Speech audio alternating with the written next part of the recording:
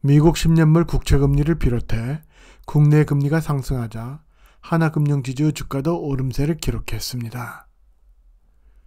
하나금융지주는 약세장에서도 장중에 3%가 넘는 상승세를 보였습니다.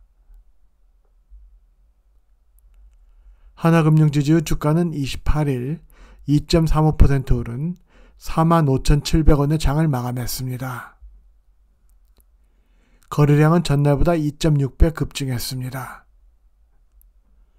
주가는 1월 4일에 33,450원보다 37% 상승한 수준입니다. 하나금융지주는 자회사의 이익이 빠르게 증가하고 있는 것으로 나타났습니다. 하나은행은 올해 순이자 마진 개선이 지속되면서 사상 최대 이익을 낼 것으로 전망됐습니다. 투자 주체별로는 개인은 이날 51만 5천 주를 팔았습니다.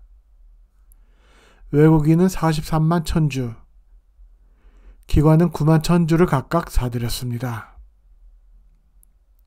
하나금융지주는 소액주주 비중이 84% 수준에 달합니다. 글로벌 이코노믹은 스톡TV가 특허 출연한 BM 모델을 이용해 동영상을 제작하고 있습니다.